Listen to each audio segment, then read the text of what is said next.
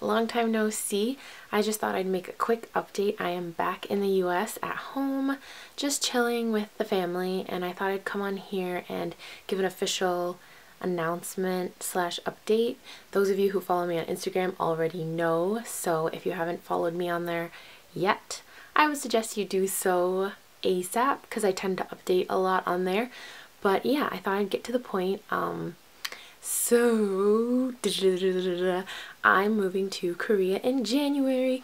Woohoo! Yay! Alhamdulillah, finally. So, I'll be moving to Seoul in January to teach English, and yeah.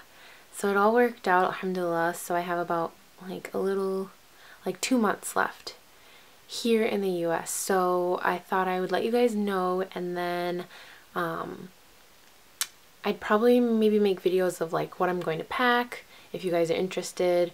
Um, yeah, let me guys let me know what you guys want me to film when it comes to going to Korea and then like on the way there or whatnot. Just let me know. And yeah, um, I think that's about it. So follow me on Instagram if you haven't already. I'll have it linked below. And yeah, let me know what videos you'd like to see from me before I go.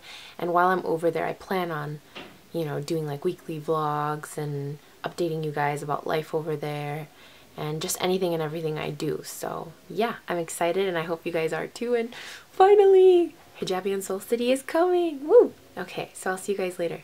Bye. 안녕.